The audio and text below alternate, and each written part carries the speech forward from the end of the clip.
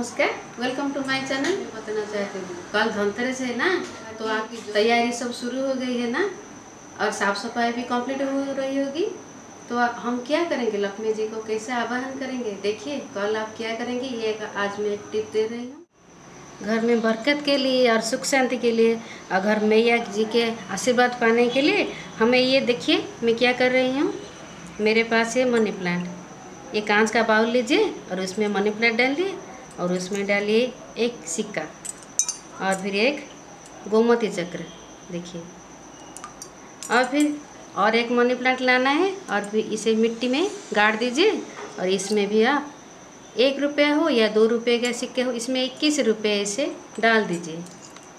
इक्कीस रुपये से डाल दीजिए और तीन गोमती चक्र लेकर उसमें गाड़ दीजिए।